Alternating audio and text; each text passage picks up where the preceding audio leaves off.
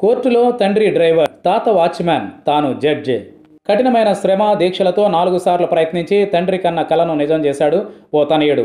ఇరవై ఆరేళ్ళ చేతన్ బజాద్ తండ్రి ఇండోర్ జిల్లా కోర్టులో సాధారణ డ్రైవర్. తాత అదే కోర్టులో వాచ్మెన్గా పనిచేసి రిటైర్ అయ్యాడు.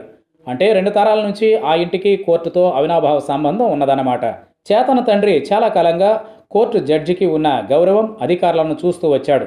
ఎప్పటికైనా తన పిల్లల్లో ఒకరినైనా జడ్జిగా చూడాలని అతడు కలలు కన్నాడు. తాను సివిల్ జడ్జి క్లాస్ టూ పరీక్షలో ఉత్తీర్ణత సాధించి తన తండ్రి కలను నిజం చేశానని చేతన్ అన్నాడు. మధ్యప్రదేశ్ హైకోర్టు విడుదల చేసిన ప్రొవిజనల్ సెలక్షన్ లిస్టు ప్రకారం ఓబీసీ కేటగిరీలో పదమూడవ ర్యాంకు సాధించాడు చేతన్.